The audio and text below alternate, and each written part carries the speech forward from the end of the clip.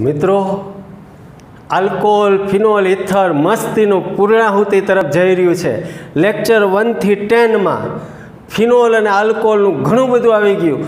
આજે આપણે લેક્ચર અગિયારમાં ફિનોલ પતાવશું.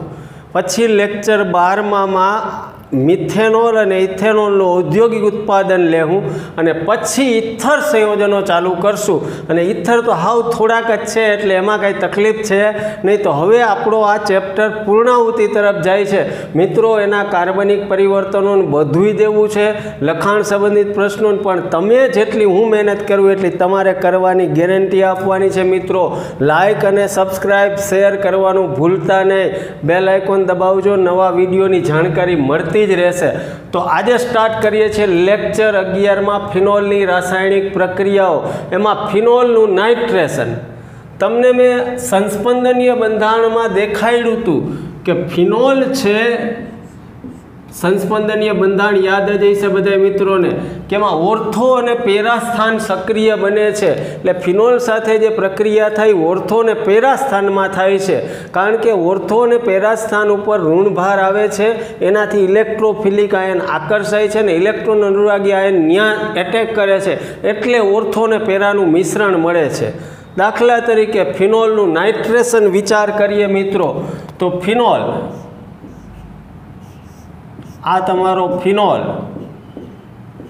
આ ફિનોલની મંદ નાઇટ્રિક એસિડ સાથે હકીકતમાં સલ્ફ્યુરિક એસિડનું મિશ્રણ હોય પણ તમારી એનસીઆરટી બુક પ્રમાણે મંદ નાઇટ્રિક એસિડ આરે પ્રક્રિયા કરો એટલે આમાં એનો ટુ ઇલેક્ટ્રોફિલિક હોય. મેં તમને કીધું હતું કે H two S O four H N O થ્રીનું મિશ્રણ થાય એટલે ઓએચ અને આનો એચ વયો જાય એટલે એનો ટુ પ્લસ વધતો તો એ યાદ છે તમને. પણ અત્યારે ભૂલાઈ ગયું કાંઈ વાંધો નહીં, પણ નાઇટ્રેશનમાં એનો ટુ પ્લસ આયન ઉત્પન્ન થયો હોય એ ઇલેક્ટ્રોફિલિક છે. એટલે ઓર્થો અને પેરા સ્થાન ઉપર એટેક કરે એટલે ઓર્થો નાઇટ્રોફિનોલ. આ ઓર્થો નાઇટ્રોફિનોલ અને પેરા નાઇટ્રોફિનોલનું મિશ્રણ મળે. ફિનોલની મંદ નાઇટ્રિક એસિડ આરે પ્રક્રિયા કરવાથી N O two plus electrophilic ion ઓર્થોન પેરા સ્થાન ઉપર એટેક કરે.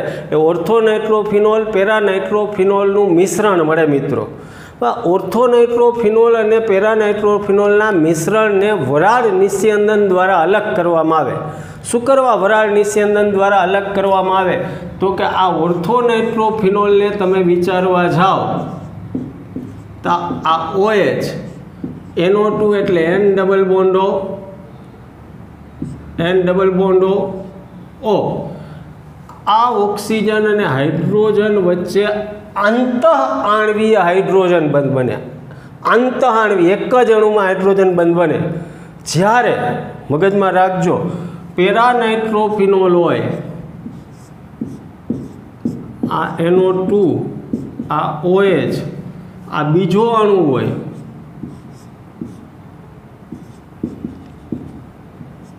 આ એન ડબલ બોન્ડો ઓ તો આંતરઆણવી હાઇડ્રોજન બંધ બને. ઓર્થોનાઇટ્રોફિનોલમાં આંતઃઆણવીય જ્યારે પેરાનાઇટ્રોફિનોલમાં અણુ અણુ વચ્ચે હાઇડ્રોજન બંધ બને.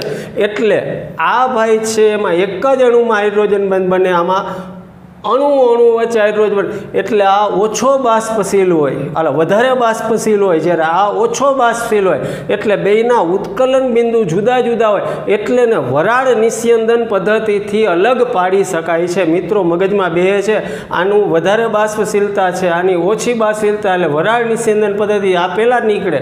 આ પાત્રમન પાત્રમ પ્રવાહી સ્થિતિમાં રહી જાય. એટલે આ રીતે ઓર્થોને પેરા નાઇટ્રોફિનોલના મિશ્રણને જુદા પાડી શકાય.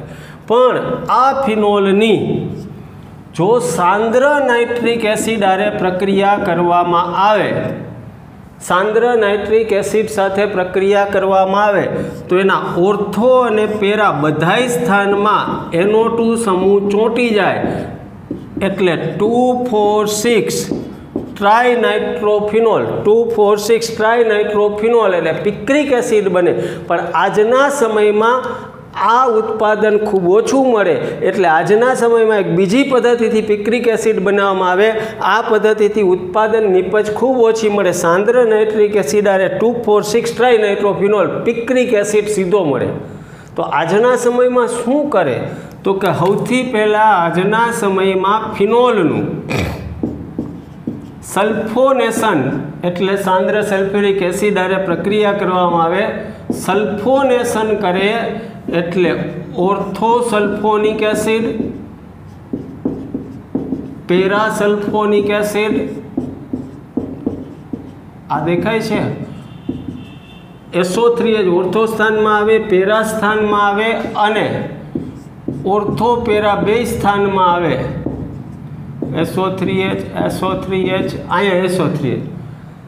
આ મળેલા ટુ ફોર ડાયસલ્ફોનિક ફિનોલ છે. અહીંયા એક એસો થ્રી એચ છે, અહીંયા એસો થ્રી એચ છે, અહીંયા હોય છે. આ ચોપડી પ્રક્રિયા નથી. ટુ ફોર ડાયસલ્ફોનિક ફિનોલ છે, એનું નાઇટ્રેશન સાંદ્ર એચએનઓ થ્રી વડે કરવા આ બાજુને બદલે આ બાજુ લખીએ.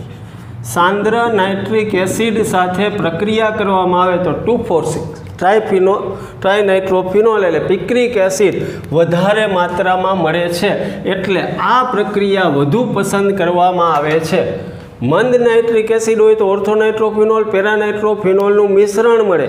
ઓર્થોનાઇટ્રોફિનોલમાં આંતરઆણવી હાઇડ્રોજન બનશે, પેરાનાઇટ્રોફિનોલમાં આંતરાણવી આંતરાણવી પકડી રાખે એટલે વધારે બાષ્પશીલ છે નહીં. એટલે પેરાનાઇટ્રો ફિનોલ ઓછો બાષ્પશીલ, આ વધુ બાષ્પશીલ, એટલે એને વરાળ નિસ્યંદન પદ્ધતિથી એકબીજા છૂટા કરવામાં આવે. સાંદ્ર નાઇટ્રિક એસિડ હોય તો two four six trinitrophenol picric acid મળે, પણ આ પિક્રિક એસિડનું ઉત્પાદન નિપજ ખૂબ ઓછી. એટલે હાલના સમયમાં ફિનોલનું પહેલાં સલ્ફોનેશન કરે, એમાંથી આ દેખાય છે ટુ ફોર સ્થાન ઉપર સલ્ફોનિક સમૂહ આવી ગયો. એટલે ટુફો ડાયસલ્ફોનિક ફિનોલ બન્યો. એનું સીધું સાંદ્ર નાઇટ્રિક એસિડ વડે નાઇટ્રેશન કરવાથી પિક્રિક એસિડ મળે છે. તો મિત્રો, અહીંયા ફિનોલનું નાઇટ્રેશન પ્રક્રિયા પૂરી થાય. હવે ફિનોલનું હેલોજિનેશન લેવું છે. લઈ લઈએ ને. યસ, તમારો બધાનો ટેકો હોય તો રાજાણી સાહેબ મોજ મારીએ. લાઇકનું બટન દબાવજો. મિત્રો, ફિનોલનું હેલોજિનેશન. ફિનોલનું હેલોજિનેશન કરવા માટે ફિનોલની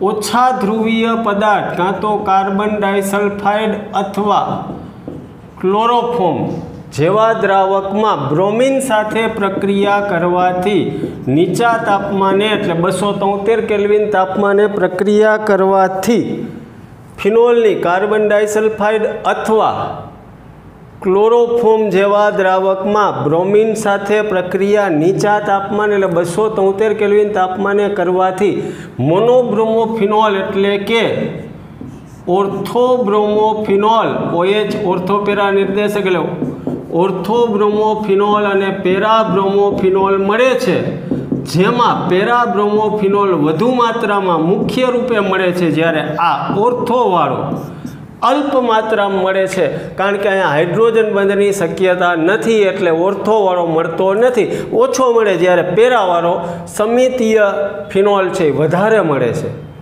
મિત્રો, બેન્ઝિનનું જ્યારે તમે હેલોજિનેશન કરતા હતા, ત્યારે તો નિર્જળ એફીસીએલ થ્રીની હાજરીમાં કરતા હતા અથવા કોઈ લુઈસ એસિડની હાજરીમાં કરતા હતા?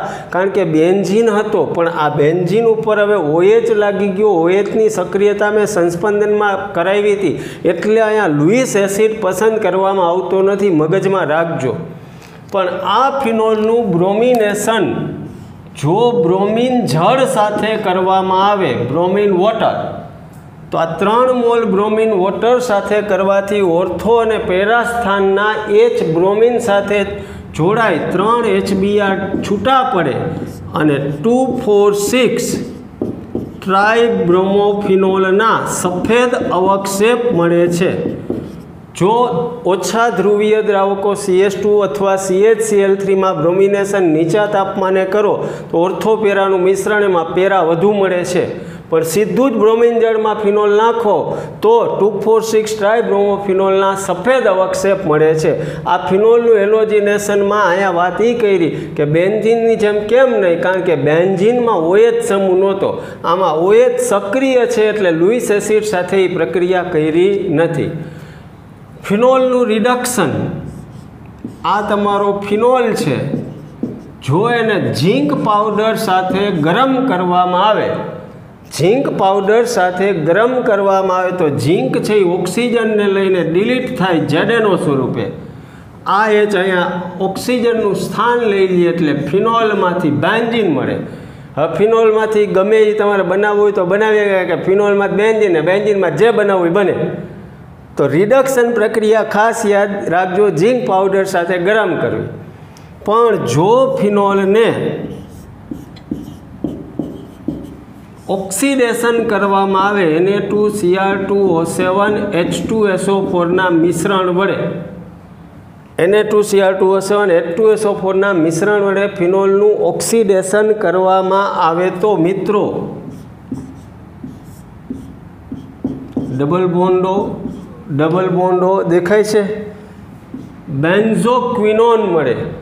બેન્ઝોક્વિનોન ફિનોલનું એને two C R two O seven at two S O four જેવા પ્રબળ ઓક્સિડેશન કરતા વડે ઓક્સિડેશન કરવાથી બેન્ઝોક્વિનોન મળે છે. એટલે જ ફિનોલ સંયોજનોને જો હવામાં ખુલ્લા રાખવામાં આવે તો એનું ધીમે ધીમે ઓક્સિડેશન થઈને ઘેરા રંગનું ફિનોલનું જે સંયોજન છે ફિનોલ છે ઘેરા રંગના દ્રાવણમાં ફેરવાતું ક્વિનોન જેવું થતું જાય છે. તો મિત્રો, આજે અહીંયા ફિનોલ લેક્ચર અગિયારમાં પૂરા થયા છે. હવે લેક્ચર બારમાં શું આપશે રાજાણી સાહેબ? મિથેનોલ, ઇથેનોલનો ઔદ્યોગિક ઉત્પાદન. જો મજા આવી હોય તો લાઇક શેર અને સબસ્ક્રાઈબ કરજો. મળતા રહેશું. જય સ્વામિનારાયણ.